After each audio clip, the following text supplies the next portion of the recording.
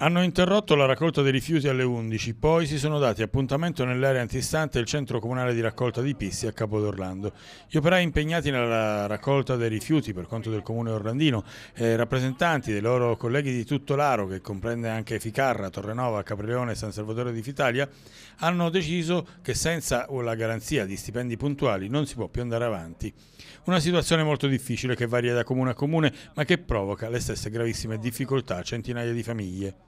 La situazione è molto tragica perché ormai da quando si è insediato l'aro hanno fatto quest'aro in tutti questi comuni e non, non è mai è stato trovato un punto di incontro fra la ditta e il comune. Siamo sempre in arretrato di mesi e addirittura noi avanziamo da 6 a circa 12 mesi di mensilità. Dipende da comune a comune questo? Dipende da comune a comune. Ci sono comuni che sono anche indietro a livello di fatturazione da, da pagare alla ditta, quindi anche la ditta avanza da, da molti comuni però noi non possiamo stare dietro ai comuni a andare a chiedere soldi ai comuni, noi lavoriamo presso una ditta privata e chiediamo alla ditta giustamente che ci retribuisca le nostre mensilità. Nel frattempo il responsabile provinciale del sindacato è stato incontrato al comune di Capodorlando dal sindaco Franco Ingrilli. Del primo cittadino ha ottenuto per il momento un impegno per tamponare la situazione, poi in settimana si cercherà di trovare soluzioni più durature la nostra eh, controparte la ditta, non il sindaco, ma comunque abbiamo incontrato il sindaco perché nella qualità di committente ha anche delle responsabilità.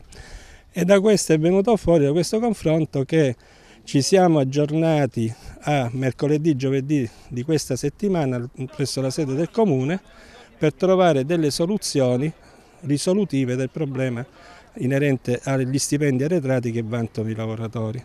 Una novità è che già a giorni avrete un primo stipendio e che prima di Pasqua si pensa di darvi già un secondo stipendio. Quindi non, non risolvi il problema di tutti gli stipendi, ma quantomeno significa che si vuole cambiare strada. Questa è una cosa molto importante perché questo che è un problema un po' di tutti i comuni della provincia di Messina, cioè il ritardato pagamento degli stipendi a seguito del fatto che i comuni dichiarano di non avere somme, è un problema che o si affronta definitivamente e per tutta la provincia, non solo per il comune di Capodorlando, per l'aro interessato al comune di Capodorlando e quindi questo significa che anche il signor prefetto e l'ispettorato del lavoro devono darci una mano affinché si, eh, si, arrivi a una soluzione definitiva di tutto questo problema.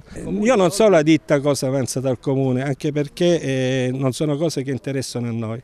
A noi interessa che la ditta paghi i lavoratori.